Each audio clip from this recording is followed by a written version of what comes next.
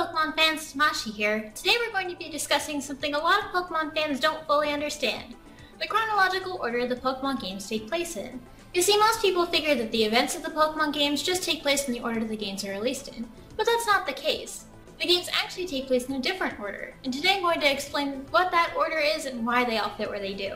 Understanding the timeline, of course, doesn't have much impact on whether or not you enjoy the games, but it can be a fun little puzzle for fans to try and put together and place the games in a chronological, coherent timeline. Let's not waste any time here with explanations though, and get started. It starts off simple enough, with Generation 1 at the beginning of the timeline. In this game, Red and Blue are 11 years old, according to the instruction manual, and only 151 species of Pokemon have been discovered. This changes slightly in the remakes, Fire Red and Leaf Green, in which more than 151 species are known to exist, but just aren't native to the Kanto region. Generation 2 takes place exactly three years after the events of Generation 1, as Red's actions from the previous game are referenced multiple times as the boy from three years ago. Red and Blue also make appearances this time around, now 14 years old each. Many changes to the Kanto region are visible, though some don't make a lot of sense. You see, the anime and game canons are decidedly two different universes, and what's true for one isn't necessarily true for the other. If you need evidence of this, one need not look any further than the numerous times Ash has completely defied in-game logic to win a Pokemon battle.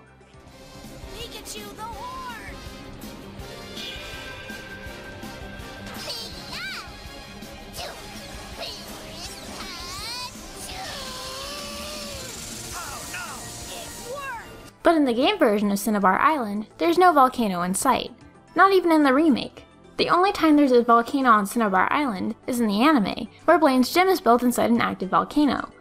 Yet in the Generation 2 games, Cinnabar Island has been destroyed due to a volcanic eruption. Now, I'm no geologist, but I'm pretty sure there needs to be a volcano for there to be a volcanic eruption. The island wasn't even on any kind of mountain that could have been mistaken for a dormant volcano. It was totally flat. What gives, Game Freak? Anyway, Generation 3 is where things started to take a non-linear turn. You see, in Generation 2, the way trading between the two generations worked was via a machine called the Time Capsule, indicating that the Pokemon were not only traveling between the games and traded, but also traveling through time. When Generation 3 was released, and subsequently Fire Red and Leaf Green came out, the games could trade between one another via the machine on one island, which was not indicated to use the same technology as the Time Capsule in Gen 2. For this reason, many fans believe Generations 1 and 3 take place at the same time at the start of the timeline.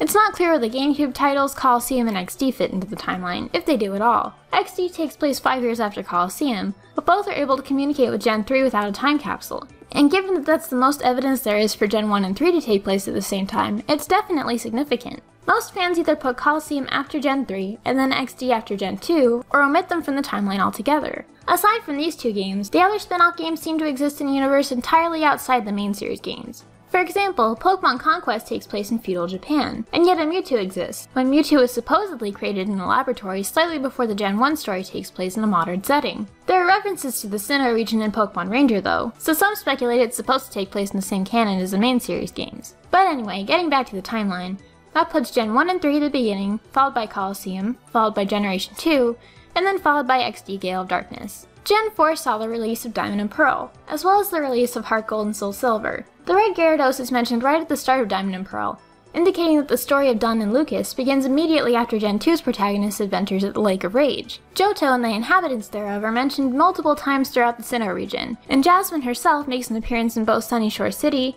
and in the contest, competing with her Steelix. It's pretty clear that Gens 2 and 4 are meant to take place at the same time, but because Jasmine trades the Steelix 2 and Heart Gold and Soul Silver, the events of Gen 2 are believed by many to take place slightly after the events of Gen 4. This contradicts the theory that the game picks up after the Lake of Rage, however, so there's no real consensus here. Overall, though, it is believed that Gens 2 and 4 take place at about the same time, if not slightly staggered one way or the other. It's also entirely possible that the events of Gen 4 begin after the Lake of Rage, but that they conclude before the protagonist of the Gen 2 games reaches the point in the post-game where Jasmine trades away her Steelix.